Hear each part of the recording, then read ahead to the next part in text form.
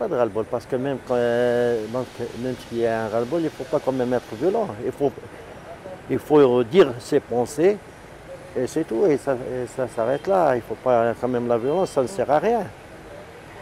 Les gens violents, il faut quand même qu'ils soient punis, à mon avis.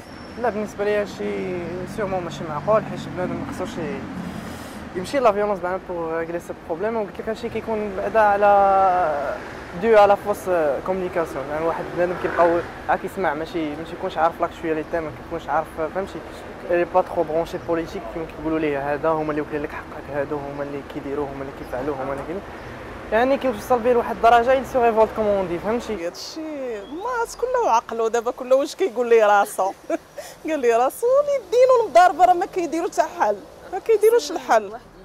يتفاهم بالعقل وبالفم. ربي عطانا فهمنا باش نتفاهموا بهم لاش مضاربة باليدين الضرب يدون هذاك راه بدائي هذاك ماشي ونقولوا آه ماشي الضرب. أنا كاع بغيت شي حاجة نطلبها أجي نحتاج. ونقولها لك مباشرة. واش فهمتي؟ أو عن طريق. كاع ما قدرتيش أنت تقول عن طريق بزاف ديال الطرق كاين وهذا ما كان. اش نقول لك؟ في حد ذاته ما ما خصوش يكون في حال هكذا. ما خصوش تكون كاع هاد الحالة في حال هكذا. نهائيا ما خصوش نهائيا كاع باش نشير بلاش هذا الانسان يشير بالحجر اذا المريض عقلانيا Et le fait d'arriver au point normalement de heurter les gens ou bien de les blesser, parce que pour moi, ce n'est pas une manière qui est civilisée.